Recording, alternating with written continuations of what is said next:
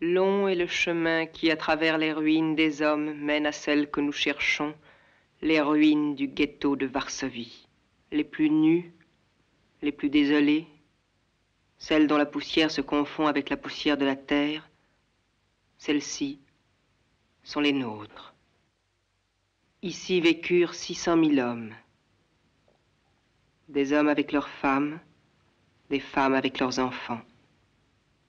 Ils avaient des maisons, des lieux pour prier, pour travailler, pour s'aimer, des lieux pour rire.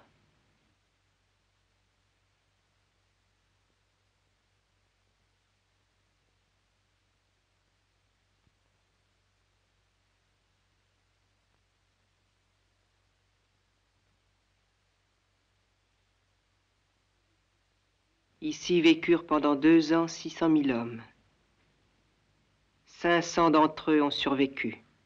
Tous les autres sont morts. Tout fut brûlé. C'est leur histoire que nous allons vous raconter.